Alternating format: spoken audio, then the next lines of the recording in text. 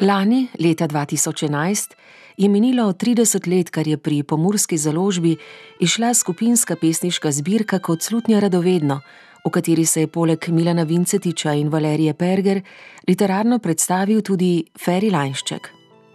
Takrat je bila slutnja, danes je dejstvo.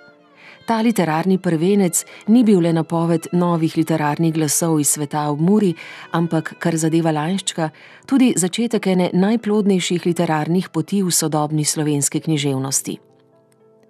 To pot je Ferry Lanšček v minulih treh desetletjih izhodil v številne smeri in ustvaril raznolik literarni opus, ki obsega poezijo, pripovedno prozo, leposlovje za otroke in mlade, dramska besedila, radijske igre, esejistiko in scenaristiko.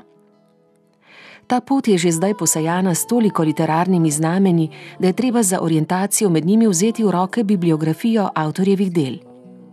Ta izpričuje 11 pesniških zbirk za odrasle in 4 za otroke, 20 romanov za odrasle bralce in 3 mladinske romane, 26 slikanic, 42 izvedenih radijskih iger za odrasle in otroke, dve knjigi kratke proze, več uprizorjenih dramskih besedil, dve knjigi besedil za ljudsko in otroško gledališče ter dve esejistični knjigi.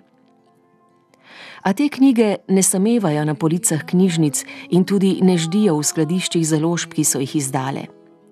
Ferry Lanšček je bran avtor doma in v tujini, kjer lahko njegova dela prebirajo v angleščini, nemščini, italijanščini, francoščini, mačarščini, češčini, slovaščini, hrvaščini, srpščini in makedonščini. V slovenskem jezikovno-kulturnem prostoru je, kakor kažejo empirični podatki, na samem vrhu lestvice branosti. Hkrati je Ferry Lanšček avtor, v katerega ustvarjalni osebnosti so se posrečeno zlili pretanjen občutek za besedo, glasbo in sliko.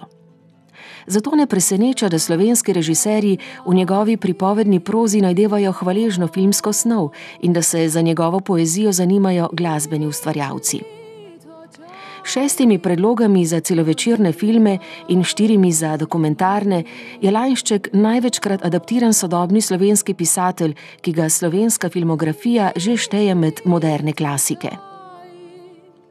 S pesemskimi besedili za glasbene skupine in zbore pa je nadaljevalec žlahne tradicije slovenskega glasbenega tekstopisja, kakor so ga v 60. in 70. letih prejšnjega stoletja vzpostavili naprimer Gregor Strniša, Fran Milčinski Ježek in nekateri drugi avtorji.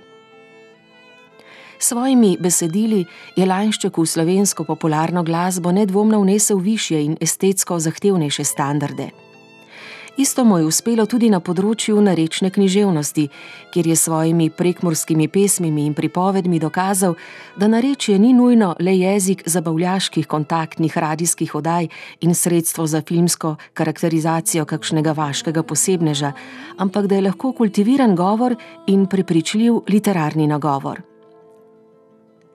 Umetniško jedro Lajnščkovega ustvarjalnega opusa predstavljata leposlovje za otroke in mlade ter romanopisje. V mladinskih delih Lajnšček ni vzgojitelj, ki bi z dvignjenim kazalcem razlagal, kaj je prav in kaj ne.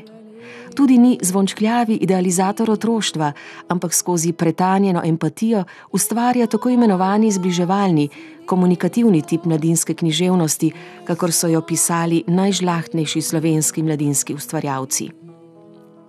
V navezavi na to tradicijo je z občutkom za dialog z otroštvom, sposobnostjo čudenja, igrivostjo, bogatstvom domišljijskih in čutnih podob ter z jezikovno inovativnostjo ustvaril prepoznavno osebno poetiko. Ta pristop je posebej uspešno uresničil v zbirki avtorskih pravljic Mislice, za katero je leta 2001 prejel večernico, nagrado za najboljše mladinsko literarno delo minulega leta.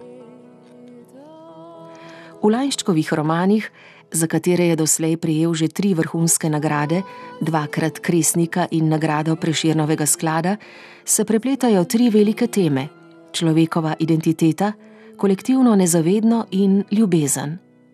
Čeprav so pogosto tesno povezane, pa je razbrljivo, da si vprašanje identitete najpogosteje zastavljajo junaki njegove zgodnje pripovedne proze in sicer ob zgodovinskih ali družbeno-civilizacijskih prelomih, ki usodno zaznamujejo njihovo bivanje.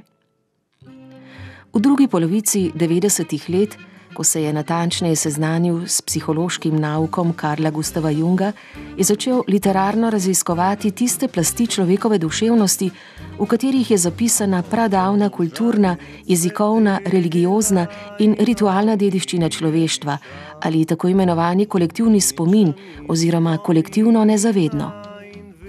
Osrednja tema njegovega pripovedništva pa je vsekakor ljubezen ki je pri njem temeljno bivansko počelo, gonilna sila, ki njegove pripovedne osebe, zlasti ženske like, žene v usodno, a odrešujočo družbeno ali osebno akcijo.